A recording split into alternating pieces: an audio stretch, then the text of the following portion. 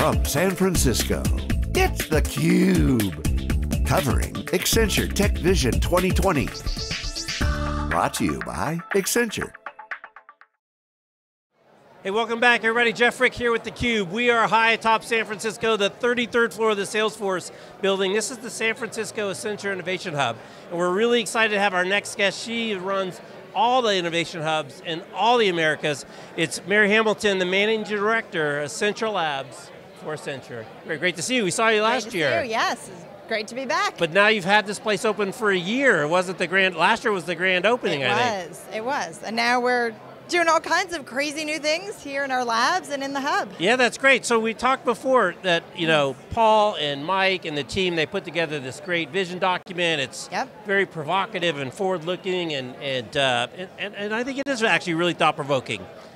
That's great, and we're going to have a nice party here, and they're going to present, but how do we get this from this pretty piece of paper mm -hmm. into my company or into your clients' companies? How do you and the Innovation Hub help them execute. Yeah, it is my job to bring this to life, right? So it's all about how do I do applied research and how do I do that for our clients in a real way with new and emerging technologies. Right. And so we take all of this vision and say, you know, what are the next round of technologies and how do we think about them in new and different ways and how do we do that kind of a sustained, ongoing innovation direction. Right, right. So you guys work with giant companies. They have millions, if not billions of R&D uh, budgets. Where do you fit and how do you augment that? Where's, what's kind of the value add that your special asset brings to this huge investment that they're already making? Absolutely. Um, so I think what we bring is the, the combination of everything that's here in this hub. So we've got business research, you know, what are the paradigms and the trends that we're seeing that are shifting society, politics, economics, and technology. We've got the, the technologists that are partnering with universities, partnering with startups, you know, thinking about how we do open innovation.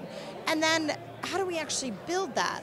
For real, and how do we do it that industry lens? We're so fortunate that, you know, out of the 500,000 people we have here, we have deep, deep industry expertise.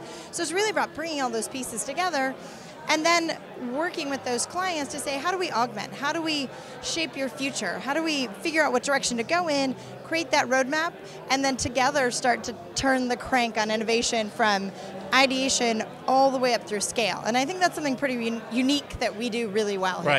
And is it driven kind of top down from a CEO who says, I have an innovation kind of prerogative, uh, go forth and, and innovate, or do you see it more kind of with product groups that are trying to potentially go a slightly different direction or incorporate some new technology? How, how does it actually work, or what are some of the models that you see that are successful, I guess? Yeah, and I would say yes, uh, all of those. of course. um, you know, we do some big strategic things that are, you know, our CEO and, you know, our client CEO come together and say, you know, we're rethinking mobility.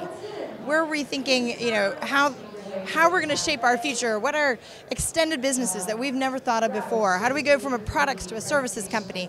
So there's, you know, the big CEO visions that trickle down, you know, we help them through strategy, through innovation, through the technology pieces to, to deliver that.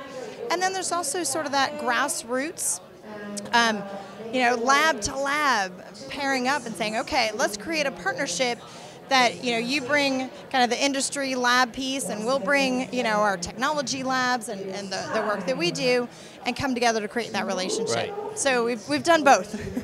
They're getting ready to start their program as you can tell. I got to get a couple more questions. So there's a lot of different um, types of technology labs that you guys have in here. You've got really cool uh, quantum computing thing yep. upstairs. You've got VR and AR and all these different things. But I know your passion, you talk about it every time I see you, is material science.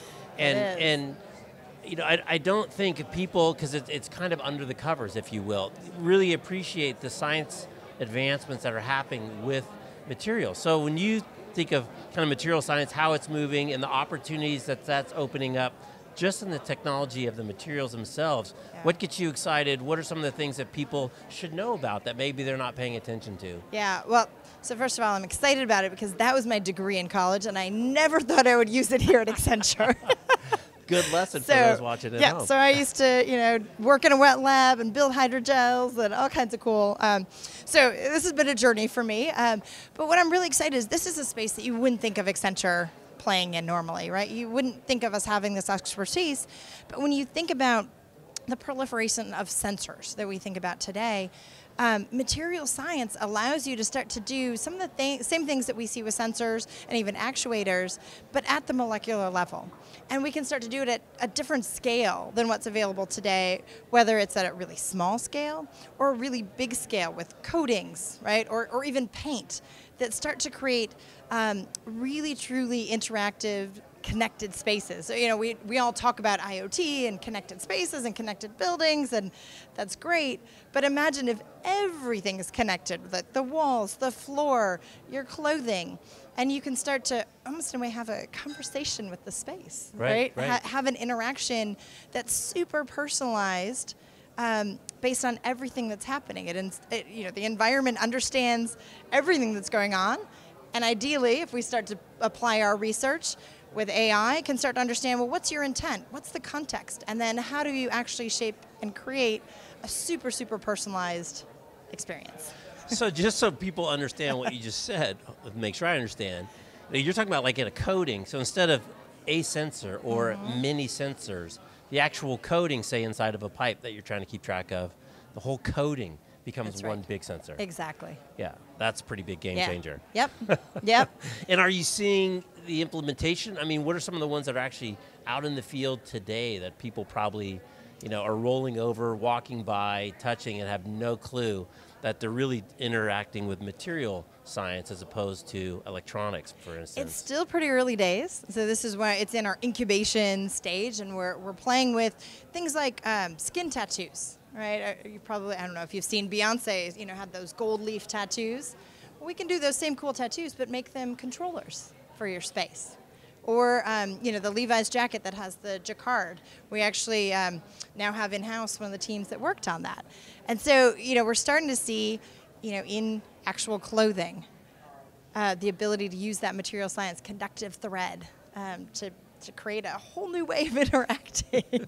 wow. Which is really, really cool. And yeah. then, you know, we're thinking about you know, how do you create those advances? If you can use a stretchy polymer um, that understands when it's being stretched, you can start to apply that to, you know, maybe a, a, an armband or a, an elbow brace that for physical therapy understands how much you're you're bending your arm and are you doing your physical therapy in the right way. So instead of, you know, once or twice going to your doctor and checking, you know, how are things going, right, right. they can have real-time constant updates in a pretty lo-fi way, but it's through these new smart materials. Right. Such cool stuff. Yeah. Such, look at the smiles. You love this stuff. I do. All right. Well, we got to let you go because they're they're getting ready to kick off the big thing, and I don't want I don't want you to get to the kick. So thank you for taking a few minutes and thanks for uh, for having us back and congrats to you and the team. Thank you. It's super fun. Thanks for having me. All right. She's Mary. I'm Jeff. You're watching the Cube.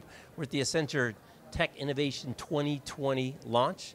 Uh, check it out online. They'll have all the stuff. It'll make you think. And thanks for uh, for watching. We'll see you next time.